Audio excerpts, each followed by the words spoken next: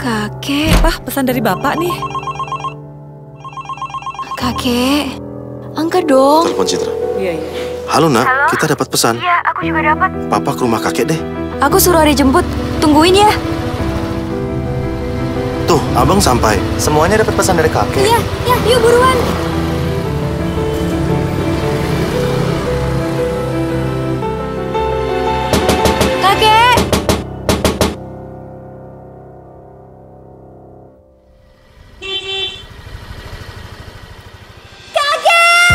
Kakek! Dari mana? Beli standar sepeda, punya kakek rusak. Kita ke sini karena pesan kakek.